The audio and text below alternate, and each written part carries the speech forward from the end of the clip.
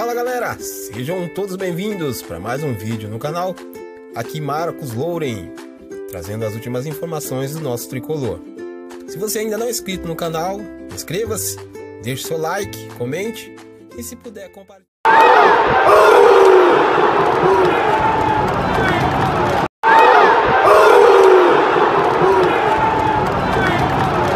E vamos lá, galera.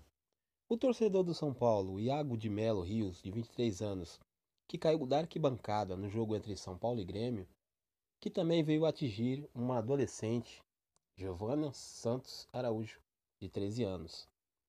Eles estão conscientes, mas foram encaminhados a hospitais da região.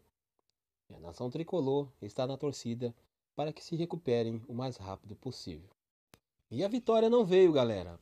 Em um jogo onde o São Paulo se mostrou com um certo domínio da partida, mas infelizmente, sem um centroavante, fica muito previsível o futebol do tricolor. Quero deixar um hashtag força aos torcedores que se machucaram e força ao nosso tricolor que possamos vencer na próxima partida. Grande abraço a todos, valeu!